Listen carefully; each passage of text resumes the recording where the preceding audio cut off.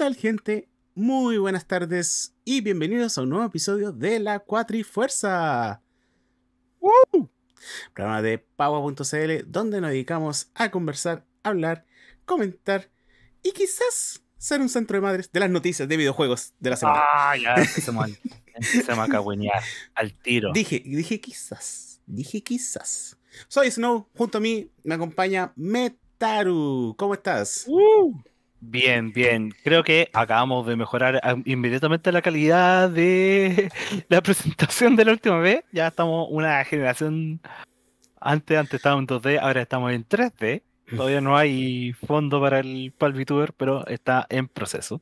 Sí, Así que va- va- va- vamos a abrir un coffee para que Metaru pueda instalarse en algún fondo. ah, la, la próxima semana vamos a tener captura de movimiento. Directamente vamos a comprar una Kinect para poder tener mejor, eh, mejor calidad, ¿cachai? Con el, con el modelo. Te voy a amarrar un control de Switch en cada mano. Voy a, voy a hacer el voy a hacer como bayoneta, pero con controles de Switch. Y así va a funcionar esto. Sí, obvio. ¿A que así Oh, así, así así funciona la captura de movimiento, ¿no? Sí. Voy a tener que bailar como bayoneta y. Claro. Siempre, tú sabes, a mí lo que me inspira única y exclusivamente es mejorar. Sí. Siempre la calidad. Siempre pensando Nada más que eso. Sí.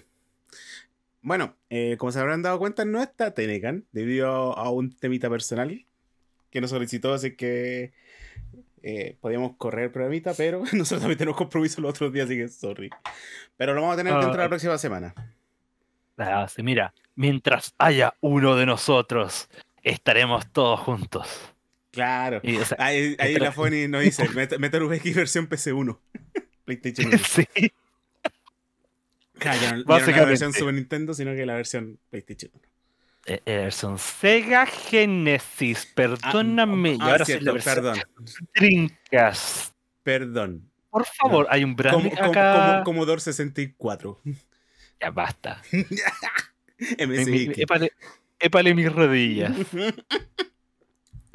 Oye, partamos con las noticias de esta semanita, porque inclusive hoy día salieron bombitas, así, pam, precisa. No, pero eh, notable, notable el timing. De hecho, fue como en un momento es como, ya, y si lo dejamos pasar, mejor eh, eh, tomemos otro camino, tomemos un día. Lo No, no, no, no, no. no. Oh, no, usted- está, está- está menos, mal que ustedes no pueden ver la, menos mal que no pueden ver la pauta, porque la pauta es como, eh, ¿quién, quién es el Tenecan? La noticia Sí. que debería dar el Tenecan la vamos a tener que dar nosotros. Sí. ¿cachai? Ah, Oye. ¿te parece que ya que tú vas a tonar, vas a dar la noticia de esta semana y hay que, hay que ponerle una fanfarra y todo? De hecho, a decir a Fanny ahí en, en producción que por favor, cuando venga la noticia de la semana, haga un flasheo de, de, de gaturros De para darle más de, de lo- de lo- de los meninos, ¿cachai? De los- un, un flasheo de Ah. Michi, ¿cachai? Para darle más importancia, para subrayar la, la importancia de la noticia. No va a tener nada que ver con la noticia, pero no importa, porque hay que tan tutito ahora. Ah, ya, Pero entonces sí. no dije nada. está bien. Para una próxima edición. Están Vamos- sí. Por último, póngale orejas de gato a Pato para que eso genere un impacto, un, un, un impacto No, por emocional. favor, por favor, no. Saquen, saquen los audífonos de gatita. Porque Eh. las noticias que se vienen hoy día tan, tan, tan potentes. Mira, parto yo entonces, Pato. Le diste una idea. Mira, mira, mira, mira. Lo voy a, lo A voy a ver. dejar, lo voy a dejar guardado. Lo voy a dejar guardado para la nota. Yes, por favor. ya, lo voy a dejar favor. guardado. Es que eso, eso va, va a servir, créeme, esto va a ser importante en el futuro, va a ser más fácil para poder digerir la noticia, para que la gente vea. Así se manipula, así se, así se editorializa en paua.cl. ¿Con qué No, por perfil favor. de gato durante la transmisión? ya, oye, eh, démosle, démosle porque ya, part- eh, hay mucho que hablar. Partamos con eh, las noticias más cornetas de esta semana. la, la ¿Cachai? igual, al tiro canjeando. Ya, me pondré el. No, no hay. Agua de- no hay, no hay, no hay emote para eso. No, me quito el sombrero. Ah, no, pero Ah, ya por eso. Me quito el Sí. sombrero, entonces Sí, te lo podéis eso. quitar. no, pero Mejor quítate ese. que me juego con el sombrero de gato, entonces voy a estar ahí. Hasta Ya. que alguien algo. Ya. Oye. Ya, primera noticia de esta semana. eh, más que una noticia, es una situación bastante curiosa que se dio eh, en uno de los. con respecto a un juego que se lanzó este año, que es Hi-Fi Rush. Para los que no lo recuerdan, y no los culpo si no lo recuerdan, eh, fue este juego que se lanzó a principios de año, con una estética bien cel-shading, juego de ritmo, que hizo mucho ruido, que la gente lo amó bastante, tenía una, una propuesta bastante entretenida. ¿Cachai? Y que, eh, según lo que se comenta en este artículo, y esto es de parte de un. eh, un eh, de pa- parte de uno de los editores de GameSpot, eh, Jeff Grubb, él lo que menciona en un podcast es que, según lo que él ha conversado con sus contactos de la industria, eh, el juego tuvo muy buenas reviews, tuvo mucho alcance, hizo mucho ruido, pero no logró hacer la cantidad de plata que tenía que hacer. Ahora, obviamente dentro del contexto de este, de este, de esta declaración, él dice, claro, porque ¿cuál fue la culpa, cuál fue la culpa de esto? ¿Fue porque eh, el juego salió día 1 en Game Pass? ¿Fue porque salió de sorpresa? ¿No hubo absolutamente nada de marketing? Eh, ¿Cuál es el eh, cuál es la métrica para decir que no le fue bien? ¿Te das cuenta? Entonces, eh, y, y esto de nuevo, esto viene de la mano de lo que se había hablado hace un tiempo atrás, de que lamentablemente Game Pass hace que los juegos pierdan ventas, no que ganen. Claro. ¿Te das cuenta? Entonces es... Entró, la gente entró como en shock porque, bueno, ¿cómo es posible que este juego que le había ido tan bien, que tenía tan buenas críticas, ¿cachai? Que tuvo tanto alcance, ¿cachai? Que no tanto ruido, le fue mal. Entonces fue que tuvo que salir a aclararse de que en realidad, ¿cachai? El juego sí le fue bien, sí generó mucho dinero, sí generó muchas ventas, pero ¿cuál es el problema? El problema es que no es que no hizo la plata que tenía que hacer, sino que no hizo tanto, tanta plata como se esperaba en base a precisamente todo este ruido y todo este boca a boca que se le generó, ¿cachai? Porque el juego era muy bueno y todo el mundo lo celebró y todo el asunto. Entonces, eh, eh, eh, extraña, ¿cachai? Entonces es extraño este comentario porque después tuvo que a- salir a hacer la aclaración de que en realidad no era lo que él merecía. Y cuando le dijeron, ¿y cuál es tu fuente para decir eso? Bueno, la fuente es que alguien a mí me dijo. Entonces, mm, Mm. eh, la, la verdad es que eh, a Hi-Fi Rush sí le fue bien como juego y sí le sigue yendo bien. De hecho, un- una revisión rápida por, por los, por los números de Steam dice que hay generalmente 6.000 personas jugándolo día a día. ¿cachai? Entonces, raro que un juego co- con, esos números se puede decir que, se- que le fue mal. Mm.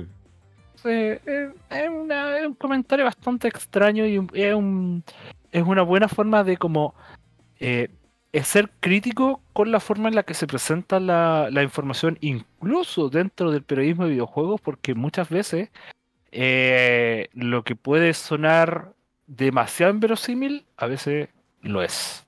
Mm. No como en Power, que acaso siempre tenemos todas las fuentes. Cuando no las tenemos, no, hay. No hay, no hay fuente. no hay fuente. No hay Eh, fuente. Sí, igual eh, eh, es completamente la perspectiva de decir, no, el juego le fue mal. Ah, el juego, según lo que yo estoy midiendo, le fue mal. Es como, no, así no funciona. Así no se mueven las cosas. Así que me alegra por lo menos de que se haya podido aclarar el, el tema, porque el título yo creo que le fue bastante bien. Eh, lo que sí, obviamente, tal como menciona Metaru, es que eh, por lo general los títulos que salen con Game Pass ven, ven reducidas sus ventas a cambio de que el proyecto fue subsidiado. Exacto. O sea, ¿cuál es la métrica para determinar que a un juego le fue bien en un cuando sale en un sistema de suscripción como por ejemplo eh, Game Pass? Mm, Es como en el caso de, por ejemplo, eh, lo que pasa con los, con los productos que salen a través de Netflix, que se ve cuánta gente lo vio y por cuánto tiempo. ¿Te das cuenta cuánta gente llegó a jugar el juego? ¿Cachai? Mm, Porque, por ejemplo, cuando Epic eh, regala juegos, es porque ellos pagaron cierta cantidad de plata por ese juego, por la distribución de ese juego, y obviamente esperan que el juego se incluso se descargue cierta cantidad de veces por cierta cantidad de usuarios para Sí. justificar ese, ese pago. Lo, lo cual igual no sé cómo le ha ido a, a esa iniciativa, porque es como una proyección a muy largo plazo. Créeme, si te doy la, lo último que sabemos es que eh, Epic Games pierde plata, Mm, mucha plata con eso, en un esfuerzo por conseguir que la gente vaya a, a, a la Epic Store. Y la- mucha gente incluso eh, reclama los juegos, pero no, no realmente, nunca llega a jugarlos. Porque vale, es como, oh, juegos gratis. Y ahí Sí. queda. Sí. Por lo general es así. Eh, igual he jugado algunos títulos en Epic Games, pero es como el 10%. Créeme, créeme, el último juego que yo cobré de Epic Games y que tomé y, y que jugué, eh, terminé jugando fue el Borderlands 3 para no tener que comprarlo y para ver si lo que decían de él era verdad. Ya. Y sí, es verdad. Así que eh, en esa ocasión me, me salvaron de haberlo comprado. Mm. Lo cual Oye, igual el Game Pass también ayuda. Así. Sí, oye, porque bueno, al final la gente, esto es de nuevo una petición de la gente que eh, existan demos, que la gente Sí. pueda probar un juego, porque lamentablemente los medios eh, no siempre son la forma más confiable, esperar a las reviews también no es la forma más confiable, y nada supera que tú puedas jugar un producto con tus propias manos, bajo tu propia impresión. Sí, pero aunque todos sabemos de que hacer una demo de repente requiere un refuerzo similar a hacer el juego. Entonces, Eh, dicho sea de paso, hay noticias satelital. Hoy día se liberó la demo de Street Fighter 6. sí. Y yo la, estuve- yo la estuve probando y fue bastante entretenido. Mm. Hasta donde alcancé a jugarlo. Pero de que es una buena iniciativa y que muy probablemente esa demo va a vender muchas copias de Street Fighter, eso te lo doy por pagado. Así es. Eh, justamente la semana pasada tuvimos un direct de Capcom relacionado con Street Fighter 6 donde pudimos ver más detalles de lo del contenido que va a tener el juego y de los DLC. Y que justamente salió de que van a haber cuatro personajes como DLC y son de aquí al 2024, siendo el último Akuma. ujú. Obvio, porque tienen que poner al más jugoso el último. Y puta que se ve bacán. Se ve bacán Akuma. Créeme, el juego yo lo probé y con un buen equipo se ve muy bacán. Y lo poco que alcancé a jugar del modo single player, que de hecho es muy probable que mucha gente lo juegue exclusivamente por el single player, el juego tiene muchísimo contenido, Qué bueno. de verdad. Qué bueno. Así Entonces, que de verdad va- yo vamos a ver si el fin de lo, lo tomo.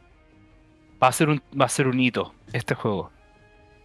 Sí, nosotros pensamos que el hito de. Street Fighter, nosotros pensamos, es curioso porque nosotros pensamos que el hito de Street Fighter va a ser adoptar el modelo de negocios de Multiversus, de ser gratis, pero muy probablemente no va a ser necesario.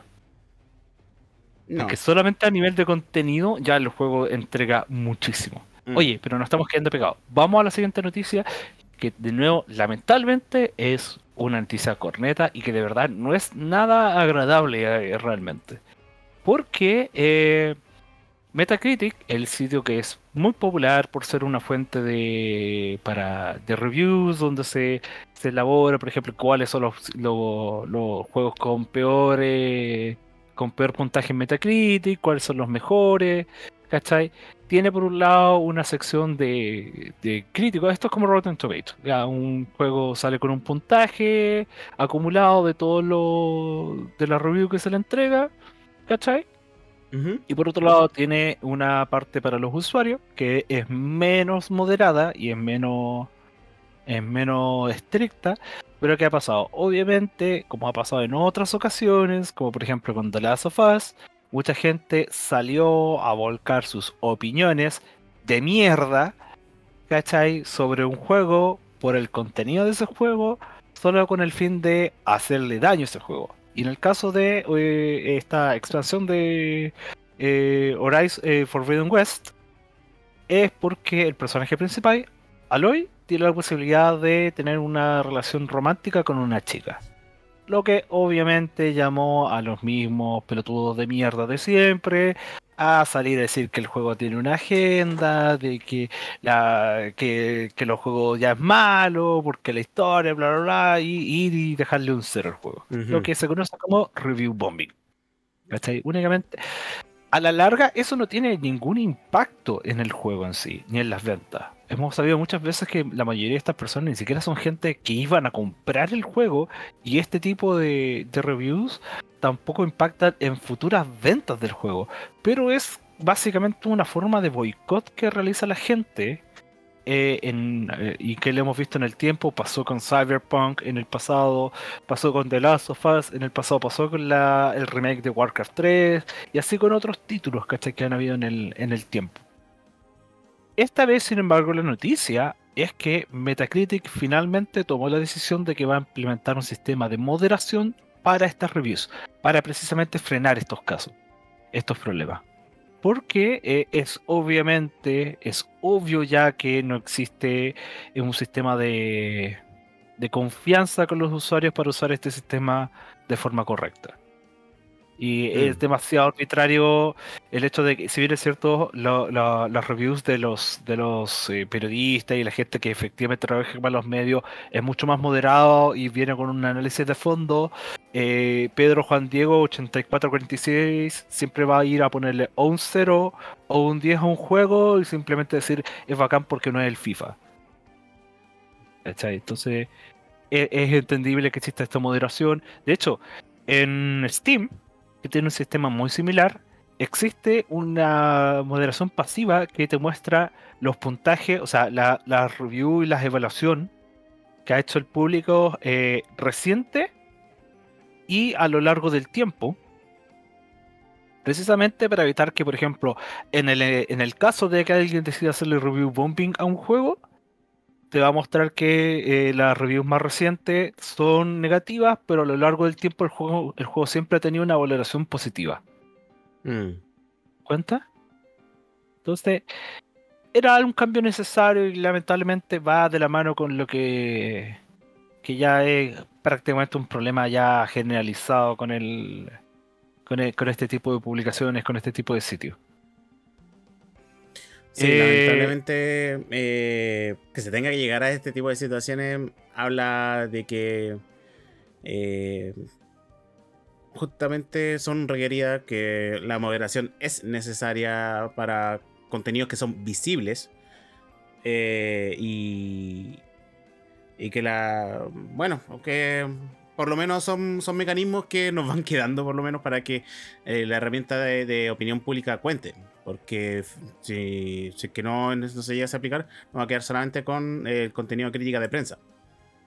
Exacto. Y que, de nuevo, por lo general, si bien es cierto, es debatible hasta qué punto eso también es una buena mm. métrica para saber si un juego es bueno o no. Estamos hablando recién de que la demo y probar el juego es la mejor forma de forjarse una opinión de, mm. en, en, cuanto a nuestros productos la gente igual usa estos sitios como una forma para saber si un juego es o no es bueno.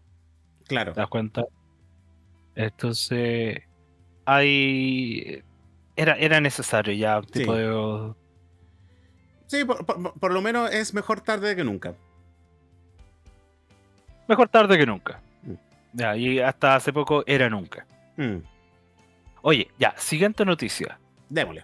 Eh, hace un par de semanas atrás hablamos de cómo se había hablado de que eh, este modelo de juegos como servicios, ¿cachai? Como Suicide Squad, de Avengers, de mm, que el otro, este juego que viene, eh, Back for Blood también. Eh, son juegos que lamentablemente cuando no les va bien en el tiempo y no logran generar una audiencia, mueren. Y mm. cuando mueren, literalmente mueren, ya no los puedes seguir jugando mucho se habla de que por qué los desarrolladores no liberan, por ejemplo, clientes que permitan jugar de forma offline el juego o que lo pueden jugar de forma local. Eso es precisamente lo que está pasando con los desarrolladores de Knockout City, que es este juego que se anunció hace como uno o dos años atrás, eh, que básicamente anunciaron hace poco, después de que ya se habló de que el juego va a cerrar sus servidores oficiales el 6 de julio, liberaron hoy un, eh, o sea, liberaron un cliente que te va a poder permitir jugar de forma local en servidores privados con otras personas.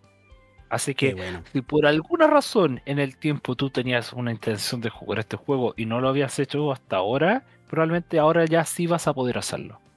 Mm. Es importante sí explicar que eh, la razón por la cual estos servidores, estos, estos juegos que son como Battle Royale y cosas así, usualmente no tienen eh, sistemas offline para jugarlos, es por básicamente por tres razones. Y ahí, Pato, tú me podías apoyar porque tú cachas más en la, parte técnica del tema de los servidores. Desarrollar clientes para servidores privados o servidores eh, comunitarios es tiempo que usual, tiempo y recursos que los desarrolladores usualmente no tienen. ¿Cachai? Y que la mayoría de los motores hoy en día no necesariamente entregan las facilidades para gestionar eso. Segundo, que también es por un tema de que así es como estos, eh, estos desarrolladores, estos publishers, manejan el tema de la monetización. Porque obviamente acá hay una, unas microtransacciones que tienen que estar validadas con un servidor, etcétera, etcétera, etcétera. Entonces hay un sistema de pagos también que está asociado, entonces todo eso eh, está interconectado con la estructura del juego. Mm. Y tercero, derechamente, porque en realidad usualmente cuando estos juegos mueren y no generan la audiencia que deberían generar es porque realmente no hay gente jugándolo. Desarrollar estos juegos implica una cantidad de recursos enorme. En el, durante el desarrollo, durante el lanzamiento y en el tiempo después del lanzamiento, porque hay que seguir generando contenido, hay que seguir pagando servidores, etcétera.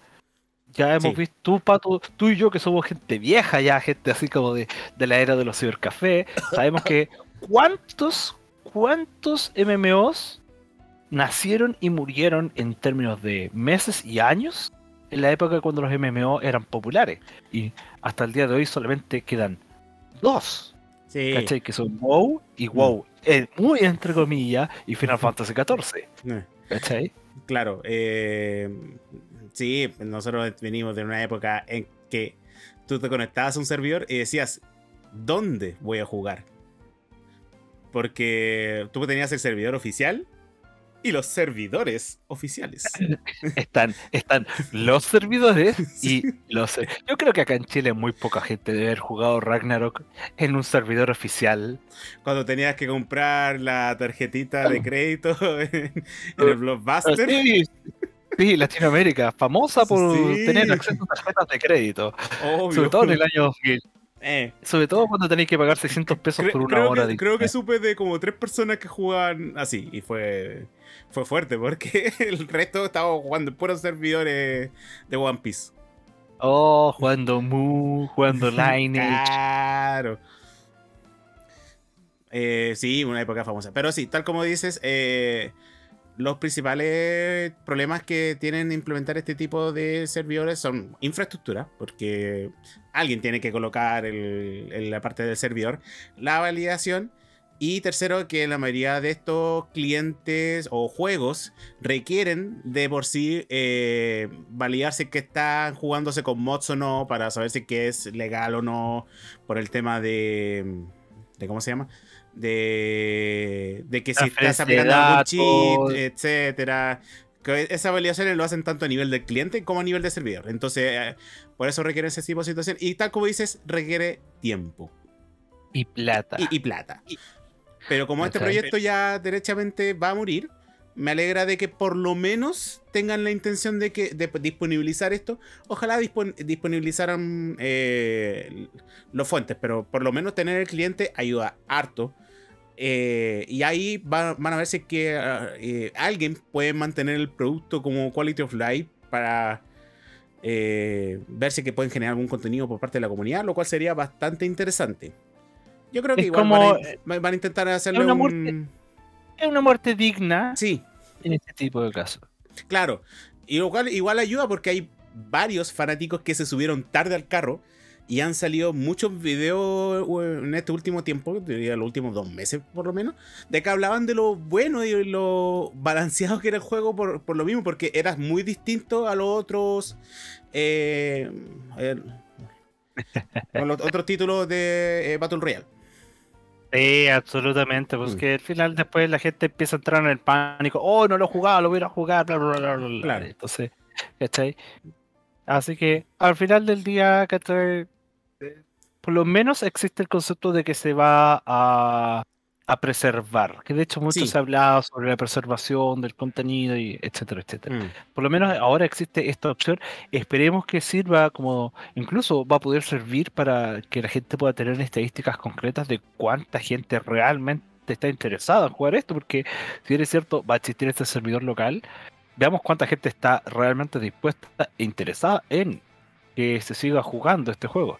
Porque si van a Claro. ser 20 personas a nivel global, realmente no, No tenía mucho, mucho futuro. no tenía sentido que el juego siguiera avanzando, ¿cachai? Este, este tipo de juego necesita miles de personas jugando al mismo tiempo.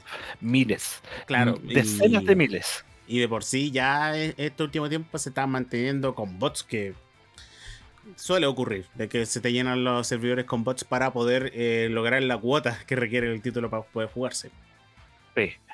Oye, eh, para terminar esto y justo de, sin querer eh, eh, enganchando eh, el mismo tema de nuevo de los juegos como servicio, eh, hace poco Sony adquirió el estudio Firewall Studios. Si tú te preguntas, oh, voy a ir a Google a ver qué juego ha hecho Firewall Studios para saber por qué Sony lo compró. La verdad es que so- eh, Firewall Studios no ha publicado ningún juego realmente porque en realidad ellos anunciaron eh, hace un tiempo atrás que están desarrollando un juego para PlayStation 5, pero fuera de eso, nada más. Ahora, ¿por qué Sony compró este estudio? Bueno, este estudio en, su mayoría está compuesto por veteranos de Bungie, de la gente que trabajó en Destiny 2. Mm. Ahora, ¿cuál es la intención de Sony? Según lo que ellos mismos anuncian, es para poder dar un paso adelante hacia su plan de generar juegos como servicio. Dominación mundial. Porque, exacto. ¿Te das cuenta? Genera a lo mejor, quizá, un nuevo Destiny, a lo mejor, quizá, un nuevo Call of Duty, etcétera. Mm. Entonces, realmente hay mucho tema, hay mucha discusión. El tema quizás probablemente más discutido en este momento si estos juegos como servicios son realmente el futuro del desarrollo, de realmente vale la pena invertir en ese modelo de negocio. Porque ya cuando solamente tener tra- microtransacciones en un juego era un red flag, ahora que todo el juego esté orientado a eso, después de que literalmente vimos que un juego como Suicide Squad fue retrasado por tercera vez debido a la negativa reacción del público, es como para pensar que quizás no es el camino a tomar. Mm. Sin mencionar el hecho de que este todavía sigue bromeando que la PlayStation 5 no es juego, pero bueno. O sea, Sí. yo no tengo una Play 5, así que no sabría decir si es juego o no. en el- Oye, ¿cuántos estudios tiene PlayStation actualmente? Con este estudio son 20. 20. Está 20. casi al mismo nivel de Microsoft. A ver quién gana, pu. A ver quién, te- a ver quién tiene más estudios. A ver, a vos, vos cuántos estudios tenés. Sí, bo, pero ahí, ahí Ah, está. agua. Pagua, ¿cuántos estudios tienes? Uno. est- est- estudios de En el mercado. claro, En el que estoy sentado, ese es el estudio que tengo. claro. Oye, bueno, eso, eh, bueno, esas son como las noticias, no sé si son las noticias más cornetas, pero sí por lo menos son las noticias menos bonitas de esta semana.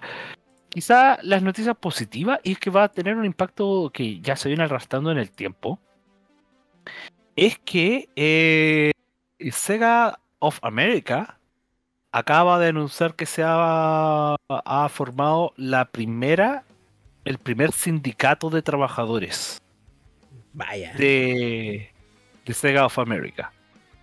¿Cachai? Que eso incluye a la gente que está trabajando en QA, en localización, en live service, marketing y desarrollo de producto. Con un total de 144, emple 144 miembros. Y eso lo convierte en el sindicato de videojuegos más grande que existe en Estados Unidos en este momento. Mm. ¿Te das cuenta?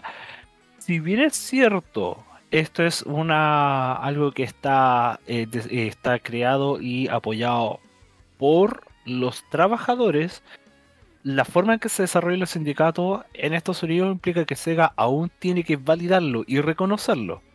Y ellos esperan, en una, en una declaración que hicieron, que Sega los reconozca de forma voluntaria.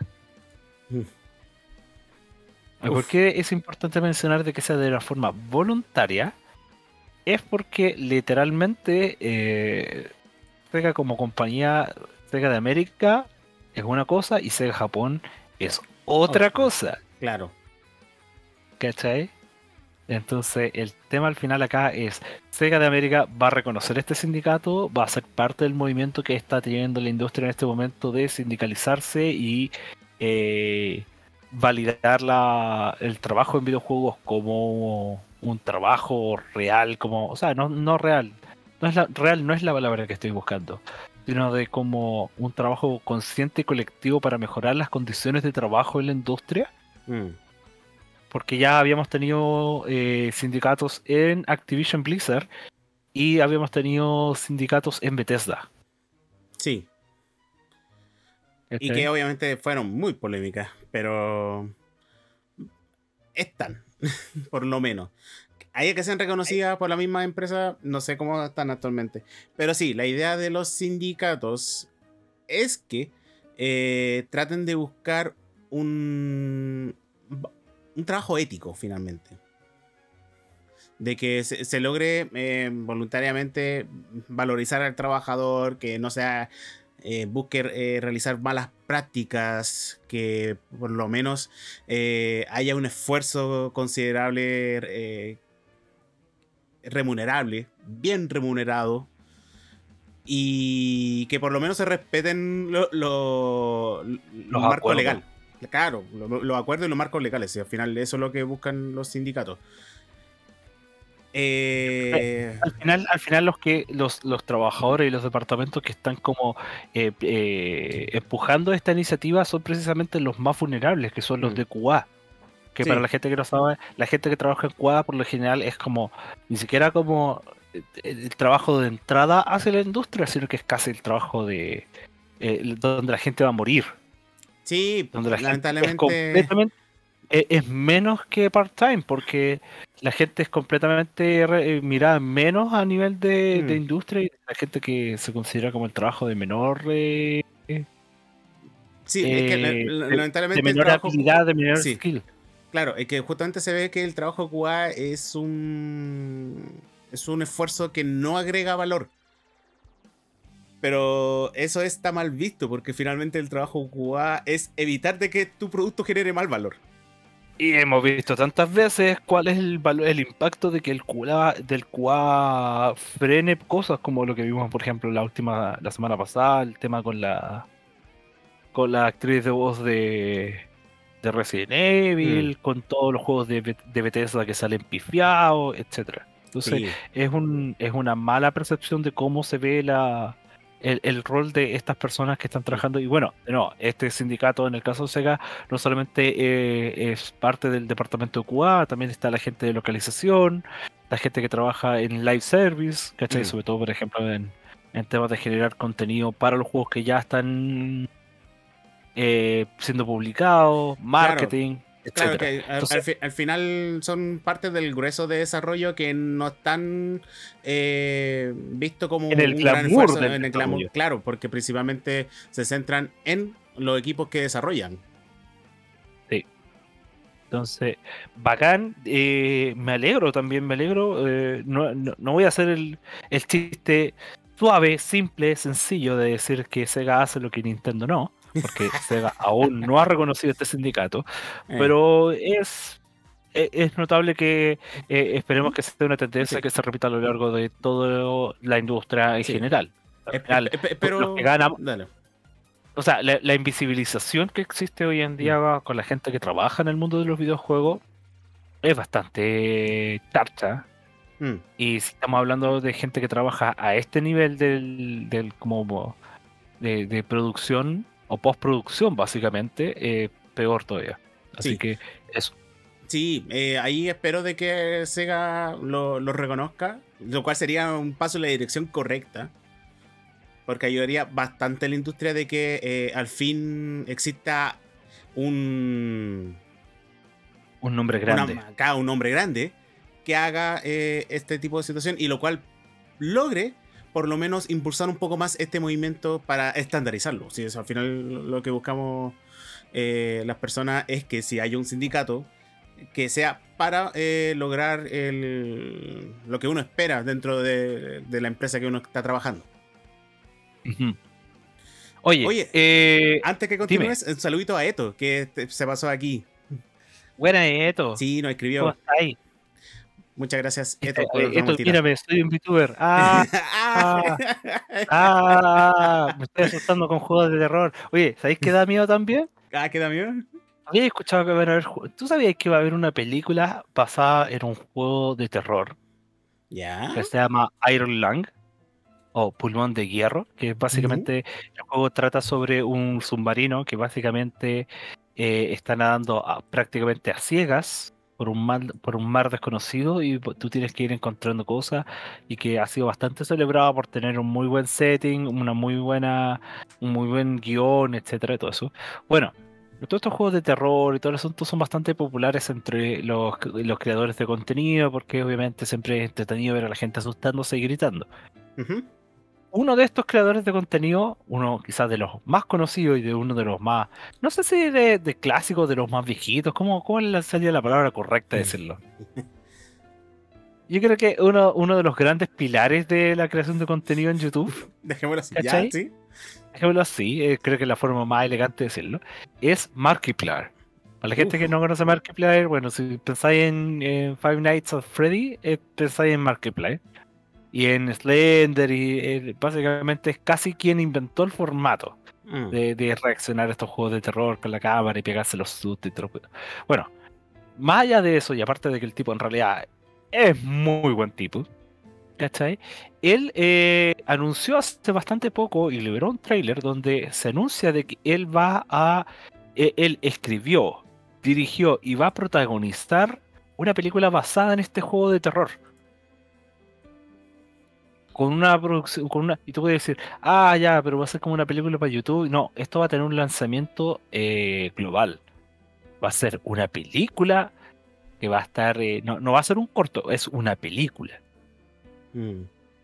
¿Te das cuenta? Entonces va a ser interesante sa- eh, sabiendo que precisamente también está anunciado esta película de Five Nights at Freddy. Entonces vamos a tener dos películas de terror basadas en juegos de terror. Mira. ¿Cachai? Lo cual es bastante interesante. Es, un escenario que realmente nunca esperamos. ¿Cachai? Pero si alguien puede sacar una buena película. ¿Cachai? Eh, si alguien puede sacar una buena película basada en esto, es él.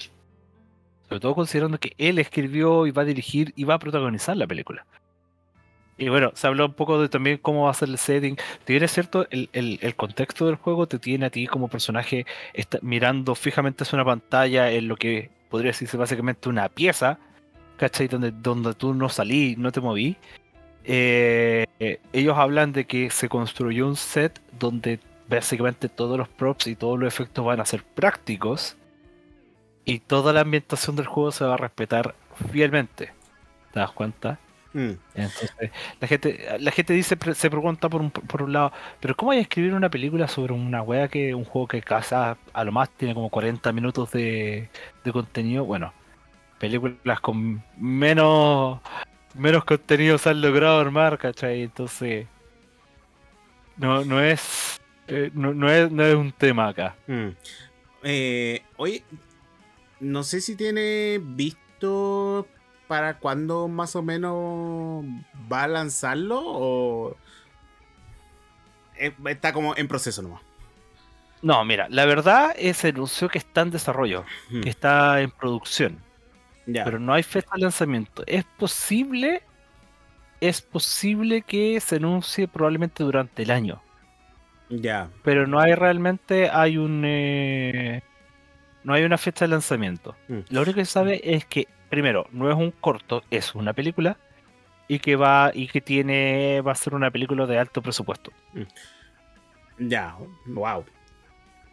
Posiblemente entonces esté para el 2024, 2025. Es, bas- es fácil asumir que va a estar para el 2024. Mm.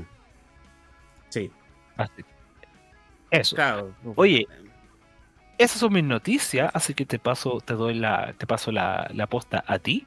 Ahora es tu culpa. Yo voy a mutearme y solamente voy a aprovechar de reírme en el. No, mentira, dale con lo tuyo. bueno, igual hay para reírse, porque hoy día nos enteramos de que la Unión Europea va a bloquear o está Espérate. bloqueando la fusión de poner- Microsoft con Activision. Tienes que ponerte las orejas de gato ahora. Ah, no, me la quitaron. No, no, no lo tengo. Ah, ah. Ah, oye, saluditos a Ruto CL que nos está saludando. Hola, Ruto. Eh, sí, eh, la Unión Europea de- de- de- eh, salió hoy día en la mañana con un comunicado indicando de que definitivamente va a bloquear esta fusión que se está realizando de Microsoft con Activision Blizzard, lo cual lleva un proceso ya hace casi un año y que ya estábamos esperando el último resultado. Y lo cual igual habían varios anuncios indicando, o por lo menos poniendo a la palestra de que esta fusión se iba a llevar a cabo. Pero, pero, este comunicado indica Pero. claramente de que eh, eh, encuentra la, el, el CMA, el cual es justamente quienes tratan con el tema de eh, unificación y demás, eh, que son del comercio, la Cámara de Comercio, dejémoslo así ¿Ya? eh, indicando de que si se realiza esta fusión, Microsoft estaría adquiriendo eh, la mayoría del mercado del cloud gaming. Ahí, ahí me pillaste y ahí estoy genuinamente confundido. Mm. Y tú, lo, lo estábamos hablando antes de que empezara el programa, pero de todas las razones, de todas las posibilidades y de todas la- las justificaciones que podrías tener para frenar esto a esta a monopólica decisión de unirse, ¿por qué Cloud Gaming? Mira, siendo bastante justo, eh, la- el tema de que se había intentado pelar Sony a Microsoft, de que eh, con esto iba a adquirir la mayoría la- del mercado de juego y todo eso. No salió nada de eso. Salió derechamente una arista, que lo cual nadie esperaba, de que Microsoft, como actualmente cuenta con una cuota de mercado del 60 al 70% de cloud gaming local, de los servicios cloud gaming eh, global, con esta adquisición, obviamente este número aumentaría. Porque Activision Blizzard tiene varios juegos que están eh, marcados como eh, servicios cloud. Y uno de esos es Call of Duty, claramente. Que eh, los últimos títulos que han lanzado, el Warzone, etcétera, son títulos que derechamente están eh, comercializados ah, como servicio en la nube. Y con lo, por lo mismo estaría adquiriendo una posición no solamente mayoritaria, sino que aplastante. Por lo menos esa es la justificación que dice que detiene o decide colocarle freno a esta adquisición. Obviamente, salió eh, Activision Blizzard con un comunicado indicando de que van a apelar a esto. Obvio. Obvio. Eh, porque dice eh, que no existe los suficientes servicios cloud para que obviamente pueda indicar de que no tienen ah, mercado al cual competir. Lo cual en parte es cierto. Lo, lo que han salido, Stadia, que ya murió. El de PlayStation, que obviamente está para su plataforma. El de Amazon, que es el Luna, si mal no me equivoco. Ajá. Eh, ¿Cómo se llama el que era de acá de Chile? ese era el, el Cloud. Oh, la, la gente que, Y que también Cloud murió. Sí. Eh, co- Comprenderás de que no, no existe como lo suficiente como para decir sí, tenemos un mercado mayoritario. Pero a la vez pero hay mercado. hay mercado, sí. Eh, también dice que no hay los proveedores suficientes para ofrecer eh, eh, distintos tipos de mercado, etc. Y que eh, obviamente esto logra que no se logre lograr como un estándar dentro de cómo deberían ser los servicios cloud. Porque ex- existe un dinamismo en cómo funciona esto todavía. Así que va a intentar apelar a esto. Y por lo mismo, este proceso va a tomar más tiempo. Ahora, dado que igual hay justamente el internet ahora está fallando un poquito. Pero, volviendo. ¿Qué significaría esto? ¿Significaría que ganó Sony? No. No gana Sony, porque derechamente Sony no tenía nada que, ganar acá. Tenía más de perder. Así que digamos que Sony, Sony, estaba ahí para puro mear la situación, mm. para puro mear. Y está ahí enviando para todos lados. Claro. Eh, ¿Significa que Microsoft perdió? Tampoco. Porque derechamente Microsoft está como intentando adquirir algo, pero si no lo puede comprar, ¿me? Quien sí pierde de todo esto es Activision. Porque dependía de esa plata para poder subsistir. O sea, mira, hasta donde yo estoy leyendo, el tema acá es que parte del acuerdo es que si el acuerdo no se concreta, Microsoft le tiene que pagar a Activision una cuota. Claro. Activision tampoco pierde. El que realmente pierde acá, en el gran esquema de las cosas, es Microsoft. Porque obviamente la intención de Microsoft era comprar Activision para tener acceso a su IP. Y básicamente tener dominio sobre hasta dónde llega el sol. Hmm. Sí, pero insisto, tampoco que pierda tanto Microsoft. Sí, sí, obviamente le pone bastante traba a, la, a los planes que tenía. Pero vamos a ver cómo se va desarrollando esto, porque ya con esta lista va a dar para largo. A menos de y en Estados Unidos, hasta donde yo sé, en Estados Unidos ya está bloqueado este también este trato. Entonces es un tema tarta pero es un arco tan fome, Estoy tan, tan desinteresado en el, en el resultado de este, de este conflicto que de verdad no. Sí, a la larga para nosotros es ver una pelea de titanes, pero para nosotros un migaja. Eh, lo que sí, si Activision Blizzard resulta ser como nuestro proveedor de internet, mejor que no se haya adquirido. Así que sigamos con las otras notas. Démosle. Eh, sí, porque eh, Lady Ixel a través de Twitter informó de que eh, desea crear una campaña llamado BGC Week, BGC Week, que busca apoyar a los desarrolladores de juegos nacionales. ¿Cómo? ¡Eh! A través de la realización de streaming de juegos para dar a conocer los productos que se están desarrollando en Chile. Obviamente la intención es que eh, canales sean famosos o no, pero por lo menos eh, que gente que quiera dar a conocer los títulos que se están desarrollando en Chile, eh, o que se hayan lanzado a través de estudios chilenos, sean conocidos y que obviamente permita esto dar una vitrina y promoción a los títulos y obviamente también a las a los estudios que están detrás de estos juegos. Y eh, esta actividad eh, está siendo eh, convocada para la semana entre el 15 y 19 de mayo. Ahí en Twitter, Lady Ixel ha puesto un hilo con varios juegos. hay un, listas curadas de Steam y por lo menos la reacción ha sido bastante positiva, al punto de que varios han salido justamente a indicar los títulos que se encuentran disponibles. Hay otras listas curadas que han salido. Eh, salió un sitio eh, donde justamente indica un poco mal cómo es la iniciativa. Y varios estudios se están sumando, inclusive títulos como el Tormented Souls, el estudio Astra Digital, salieron al paso indicando de que si quieren probar alguno de los títulos que ellos tienen, justamente el Tormented Souls, están ofreciendo keys para que puedan disfrutar el título. Así que bastante, bastante bueno. Estaba buscando aquí el, donde estaba el, enlace. Eh, aquí está, bgcweek.cl. Voy a ver si carga.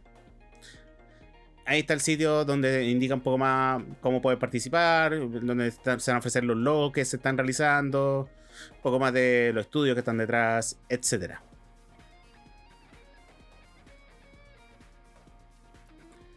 Así que me gustó bastante la iniciativa. Eh, encuentro que em, es bastante bueno de que exista un tipo de promoción así.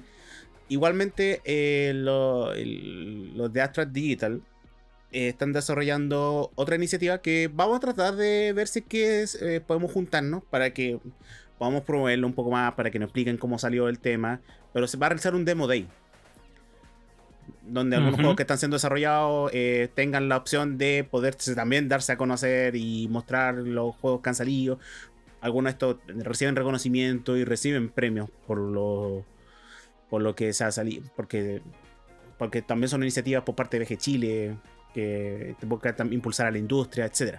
Así que eh, vamos a ver si que dentro de las próximas ediciones eh, nos damos un especial para poder conversar con Astral Digital y con, eh, con para mostrar esto un poco más en detalle y también eh, mostrar nuestro apoyo, porque este tipo de iniciativas son necesarias dentro de la industria y que los fanáticos puedan obviamente disfrutar de, estos juegos.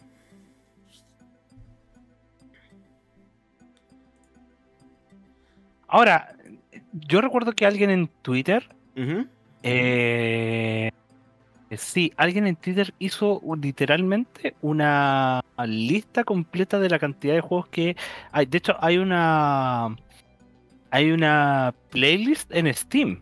Sí. Donde puedes ver todos los juegos que están en Steam, que están en Steam que tú puedes jugar. Desde todas las cosas que están por parte de Ace Games. Sí. Eh, otros títulos que, por ejemplo, que son que se me vienen ahora, eh, que es lo que está en What Lies in the Multiverse eh, ¿Qué más? Linked Mask. Los mismos chicos de After Digital con Tormented Souls. Eh, el juego de peleas de Our Games, que es Home of Sorrow, etc. De que hay títulos mm, disponibles para que la gente juegue, los hay. Sí. ¿Cachai? Absolutamente, no, incluso hasta los mismos títulos que nosotros hacemos en Ulpomedia que están ahora disponibles para que, que se jueguen gratis, wink wink, ¿cachai? Eh, son, son un título. Esto va un poquito de la mano con lo que pasó en, en Gamer City, pero como tangencialmente, porque de nuevo, el tema siempre viene siendo lo mismo. Uno puede reírse un poco de y el VTuber no lo tiene, pero asume que estoy diciendo como entre comillas. Pero es como la industria del videojuego en Chile, que existe y es eh, bastante prolífica, pero el problema es que es eh, invisible, es muy de, profeta en su tierra y todo el chiste, pero no tiene por qué serlo. Mm.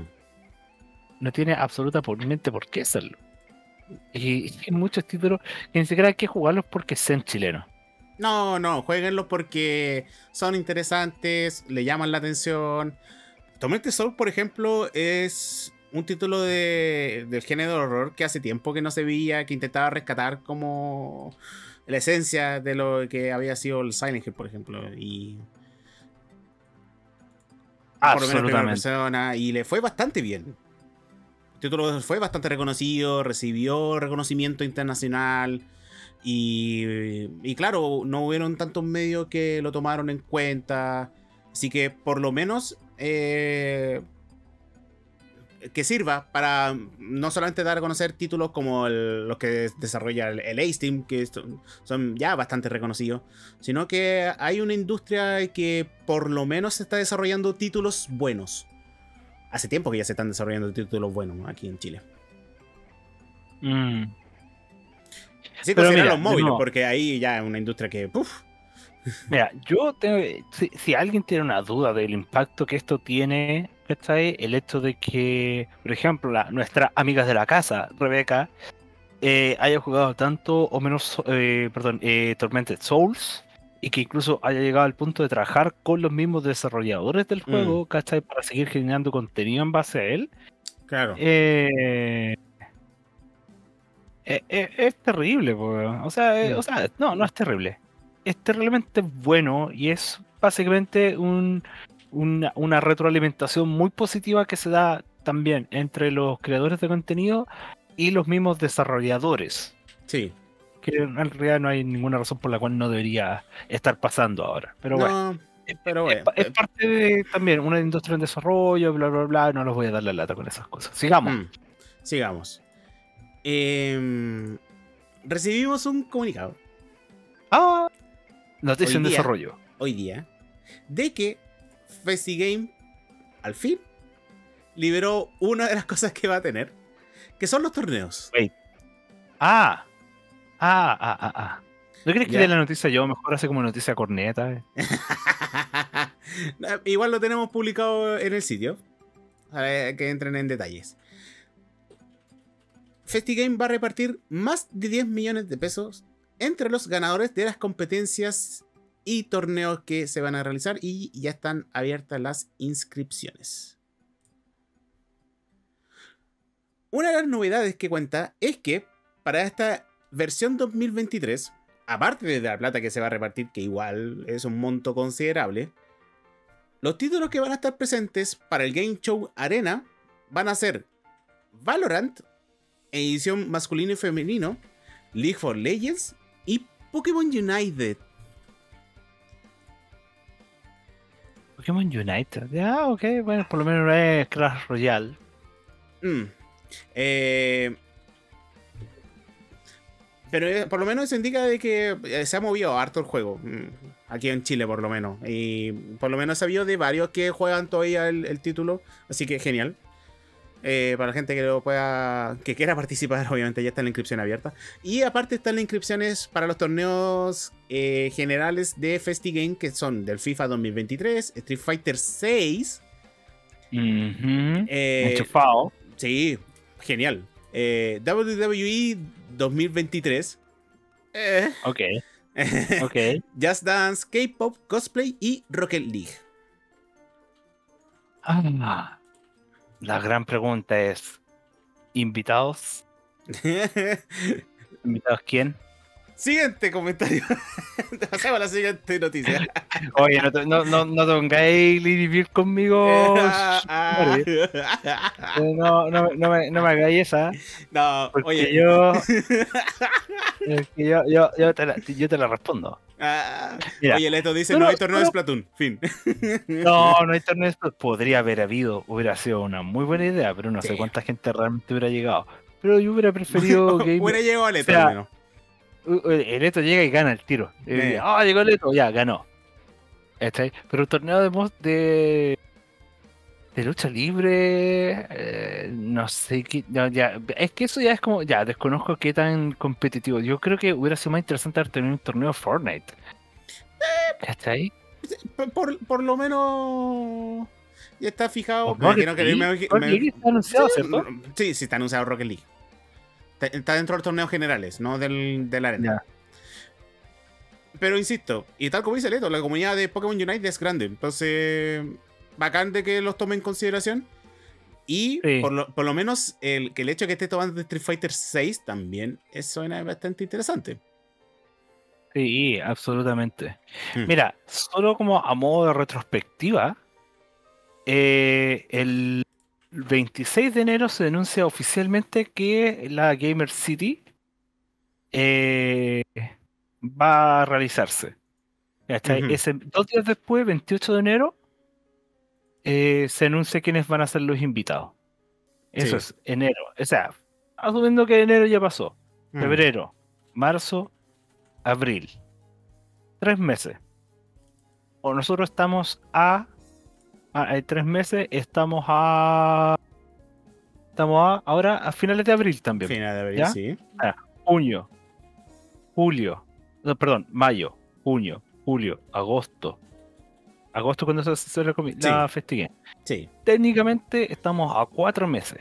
Mm. para ser justo con FestiGame, el próximo mes ellos ya deberían estar anunciando quiénes son los invitados y quiénes van a ser los selling points. Ni siquiera los invitados, cuáles van a ser los selling points de esta versión. Que hasta Mm. el día de hoy no lo sabemos, porque no los han publicado. Eh, lo que sí hay es preventas. Sí. Sí, las preventas están ya disponibles, se están yendo rápido los, los pases de los tres días. Si quieren adquirirlo, es el momento, chicos. No, no voy a entrar en, mayor promoción que, eso, porque cada uno ya sabe a, lo que se va a FestiGame. Lo que sí, eh, tal como dice Metaru, es justo darle este periodo de mayo por lo menos para que eh, pudieran eh, promover a los invitados. Muy posiblemente, y siendo realistas, en julio lo estén anunciando. Llanamente. Julio, espérate, no, pues. sería, lo realista sería que lo estuvieran anunciando el próximo mes. No, eh, eh, eso es el ideal. Ese es el ideal. Y digamos el ideal bajo, porque el ideal hubiera sido hace seis meses atrás. Pero el ideal es que eh, se esté realizando en mayo. La realidad es que depende de los anuncios que se hagan en junio para saber si que va a haber algo interesante o no. Y yo creo que igual están, cierran las cosas el último mes. Porque así como funcionan las cosas acá. Eh, oye. Ahora, espérate, mm. es importante decir esto, ¿ya? yo, yo, creo que lo, digo más que nada como para no. Para que la gente no caiga en el truco de, del FOMO y, oh, me voy a quedar sin. Ya.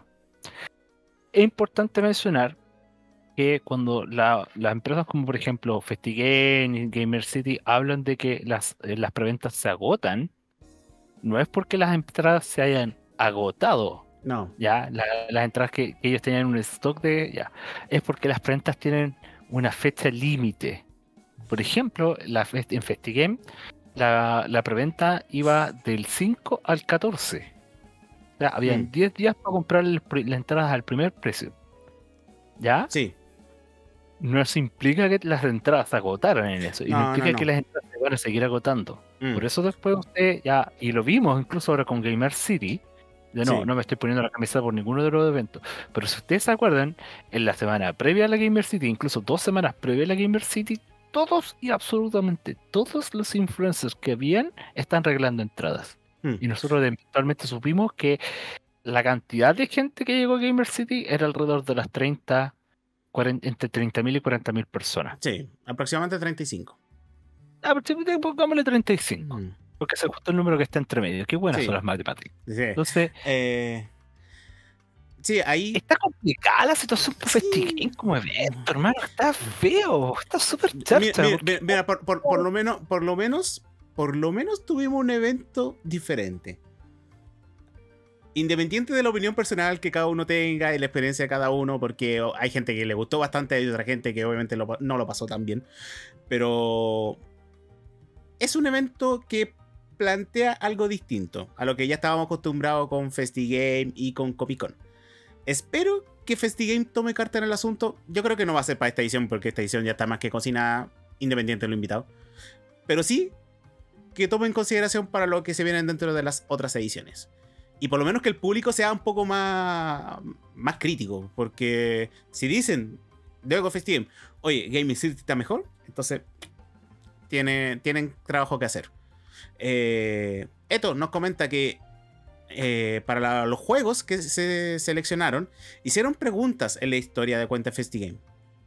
Y mucha gente votó por esos juegos. Así que bacán, por lo menos están tomando feedback. Y que obviamente por el tema de, lo, de las preventas es que así se evitan si el invitado se baja a último momento y venden la entrada más cara.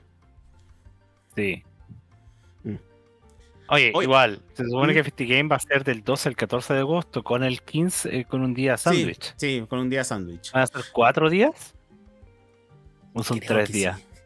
Te digo, eh, sábado, domingo, domingo 13 y lunes 14. Ya. Son tres días. Eh, son tres días. Sí. Oye, Astra Digital está realizando un streaming y nos mandó saluditos. Así que nosotros también le mandamos muchos saludos a los chicos de Astra Digital. Le, hacemos un raid. Ahí. Sí, le hacemos un raid. Sí. Eh, claro, ahí está Lady Ixel, así que ahí van a entrar más en detalle. Eh, sigamos. Ya, la última, justo la última noticia. No, tenemos, tenemos dos noticias. Porque aquí se me olvidó colocar un título. Oye, hay, hay algo interesante acá. ¿Qué pasa cuando eh, la comunidad de modding realiza un juego que fusiona dos cosas que tú no pensabas que iba a suceder? Que son Halo y Mario Kart. Lo mejor, hermano, lo mejor. Yo vi este mod hace un par de días, lo vi en el anuncio que había en YouTube y lo conozco del, del legado que tiene este mod. Quiero puro llegar, quiero que ya tengo una razón para llegar al fin de semana y jugarlo. Mira. Sí, porque este mod eh, toma los personajes de Halo. El personaje Master Chief y obviamente la- el enemigo. Oye, hay Y, más y personajes, y- sí, no, o discúlpame. sea, sí, ya, sí, sí. Ya, toma los personajes de Halo y los pone en un karting con los mapas de Mario Kart. Transformando esto en una batalla campal para intentar llegar a la meta. Porque aparte pueden dispararse. Sí, como debe ser, po. Ah. Y con la física. ¿Y sabéis cuál es la mejor parte? No, no lo mencionan en el artículo, pero sí lo mencionan en el anuncio en video. Que esto, este modo en general, es parte de la campaña del juego. ¿Cachai? Mejora, mejora, mejora, cursea, dependiendo cómo quieras verlo. ¿Cachai? Y, e integra este, esta sección de Mario Kart dentro de la campaña de Halo. Guau. Así que tú literalmente estás jugando, no, no es como solamente un modo multiplayer. Tú, bueno, lo podéis jugar multiplayer, pero aparte Mm. lo estás jugando dentro de la campaña de Halo. Mira. Hace como si fuera un nivel dentro. Y como lo decía en el video, es lore friendly. Entonces tiene le hicieron sentido. Oh, por Dios. Oye, ahí estoy viendo el trailer y es bacán como lo está, lo está contando. It's very good. Sí, de ahí lo voy a un poco. Se puede jugar- Sí. se puede jugar cooperativo. Porque como se juega en el Master Chief Collection, lo podéis jugar cooperativo. Ya. Sale volando. Maravilloso. Yo, yo, yo dije, quiero que sea fin de semana para poder jugarlo. Oye, sí, el, el- tal como dice Metal, ahí pueden buscar el mod de Alocard, se llama, y se llama Alocard Cursed. Sí. Eh, ahí O sea, pueden. ah, dale. No, o sea, en el fondo, ¿qué necesitan para poder jugar esto? Necesitan la el Master Chief Collection, Ujú. ¿ya? Eh, eh, necesitan eh, no estar bañados de la Steam Workshop, lo cual es bastante difícil que estén bañados de la Steam Workshop. Y fuera de eso, tener tiempo libre para disfrutarlo y divertirse con esto, porque en realidad es así de bueno. Ah, ya, voy a tener que jugarlo solo nomás, porque después invitar a gente a jugar conmigo. Mira. A mí me Así falta el, el, el Master Chef Collection. Oh, creo que lo Mira, tengo. eh, creo que lo tengo. De Master Chief Collection, la gracia es que te podéis comprarte todos los, los Halo por separado. Viene con el Mm. Halo C, así que Ya. Es- Pero por, por lo menos tener eso como base. Y sí, pues me encanta que salgan este tipo de propuestas. Tal como el, el Broadband Card. Oye, ese, ese, ese mod es puro posting. Así que, Sí. de verdad, yo, voy a- yo quiero llegar a jugarlo a ciegas. Y, y, y bueno, A ver, eh, sí, todo lo que cambia. Eh. Eh, y la última noticia que tengo es un juego que generó bastante ruido en redes sociales de nivel, debido al grado de realidad que intenta reflejar. Oh. Porque este título muestra a, a un FPS a través del bodycam. Y como está hecho en un real, se ve increíble. Se llama Peligrosamente, un peligrosamente, sí, peligrosamente incre- increíble. Eh, claro, es como si estuvieras viendo un, video. Eh, No estamos viendo video, pero es como si estuvierais viendo un video de un, una intervención Live leak. policial, un live leak, claro, donde eh, se ve el, el nivel de textura y dices, wow, ¿en serio esto está hecho en un real? Y di- sí, está hecho en un real. Había gente que no creía en esto, que no creía que, te- que era un juego. Y tuvo que salir el, desa- el desarrollador a mostrar cómo estaba el mapa creado, cómo llevó esto y eh, renderizarlo para mostrarlo cómo, cómo se veía todo. Pero es Sí, no, cuático. De hecho, la- el comentario que hay sobre esto igual es de la mano de, eh, wow, esto igual es muy realista, pero quizás la temática no es la mejor, por el hecho de que, bueno, el podcast habla sobre la historia en policía, y todos sabemos que la gente no es muy amigable con el concepto de que tú estés jugando con un policía Mm. hoy en día, sobre temas de brutalidad policíaca y todo el asunto. Eh, dejando eso de lado, que eso se va a ver ya una vez que se lance el juego, eh, yo tengo que admitir que cuando yo vi el anuncio de esto, lo vi en un, en un tweet con una pésima calidad de video y pensé que la calidad de video era parte de eh, la experiencia. Eh, Mm. Y después me di cuenta que no, que en realidad la calidad de video horrible era por culpa de Twitter. Pero me arrepintió. Definitivamente como la experiencia de cómo imagi- me, imag- me imagino así como aumentando la dificultad, realmente bajando la calidad del video. Claro. Porque en el fondo tú estás jugando, pero la cámara está posicionada de tal forma que tú lo estás viendo como si fuera eh, eh, una cámara externa a ti. Claro. Y el efecto se logra muy bien. De hecho, este juego se había anunciado hace bastante tiempo ya. Sí. Sí, pero fue Eh, justamente con el, con el tráiler que sacaron que generó ruido. Exacto, exacto. No hay fecha de lanzamiento, creo. No. No, y No está, está en Steam como, como wishlist. Que lo Así ahí que- a- agregar. Vayan, vayan, vean el trailer, veanlo con sus propios ojos, porque de verdad es. Y veanlo en YouTube, no hagan como yo, no lo vean en Twitter. Así que vayan nomás, cabros. sí. Igual esto sienta en la palestra del, del nivel de realismo que estamos llegando con, el, con los motores, sobre todo el Unreal. Es que lo que, ve- lo que te vende no es tanto el realismo del juego y de las texturas, No. sino que la calidad de video y la presentación logran llenar ese vacío donde tú generáis esa, ese tema de, oye, ¿en realidad estoy viendo un videojuego o es un escenario? Sí, eh, es- es- es un está- video policial. Sí, estamos llegando casi, casi al, al Uncanny Valley, que es el, el valle de la incertidumbre, del- de la incomodidad.